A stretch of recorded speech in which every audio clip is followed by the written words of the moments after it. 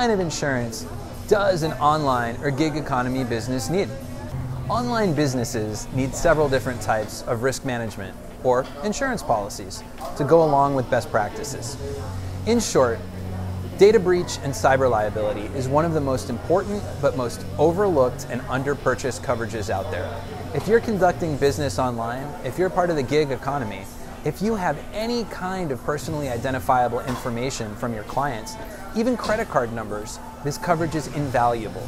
The thing about cyber liability and data breach coverage is that the protection afforded to you by your credit card processing vendor is probably not as robust as they would like you to think. In fact, it's probably as little as 25 or $50,000 in coverage, and it's really stacked to protect them and not you. So don't be deceived that you're covered. If you don't have your own risk management program, then you still have a lot of unmitigated risk. You see, the average cost of a data breach is between $250 and $300,000 for a small business. We're not talking Target or Dairy Queen here, both of whom were victims of data breach and, and cyber attack. We're talking a mom and pop hardware store. We're talking a computer repair business that has three or four employees. Anytime you have personally identifiable information, such as a social security number, a name address, and credit card number, anything like that, you are at risk. And the smaller your business, the bigger the target on your back, because thieves are assuming that you won't have the most robust security measures. It's easier to attack a small business than it is to attack, say, a target.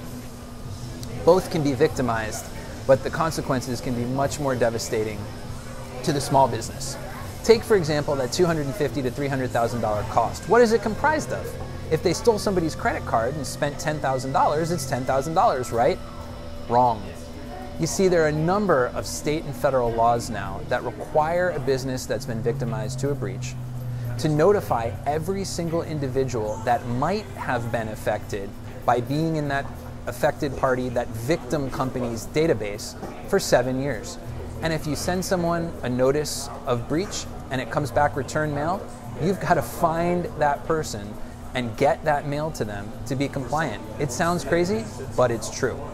Where that cost comes in is in locating, notifying, and then providing credit monitoring for all of those people in that database. So don't be fooled. No matter how small your business or how little you think the risk is, all it takes is one cyber pirate to ruin your financial day. There are other types of coverage that online businesses need as well. Of course, you'll have to analyze whether or not you need property coverage, but if you're selling a tangible good or even a service, you will likely need some kind of liability protection for products and completed operations. While general liability is absolutely a concern for gig economy businesses, remember, it's cyber liability and data breach protection that's probably the most important thing, followed, depending upon your operations, by professional errors and omissions coverage.